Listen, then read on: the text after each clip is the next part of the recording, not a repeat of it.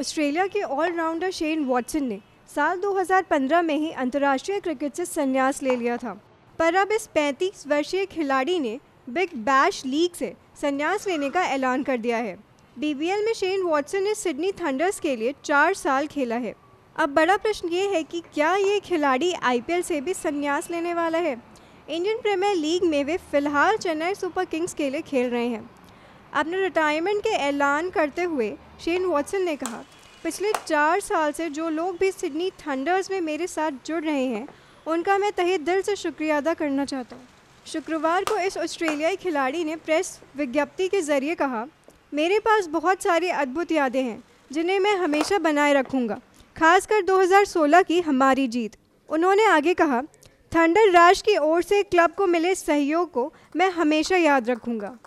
खेल के उतार चढ़ाव के दौरान उनका जो अटूट समर्थन है, वो सबको प्रेरित करता है। मैं हमेशा इसका पालन पोषण करता रहूँगा। आखिर में अपने साथियों के लिए मैंने क्लब में बहुत बेहतरीन लोगों और क्रिकेटरों के साथ खेला है। मैं आगामी सत्र के लिए सभी के लिए शुभकामनाएँ करता हूँ।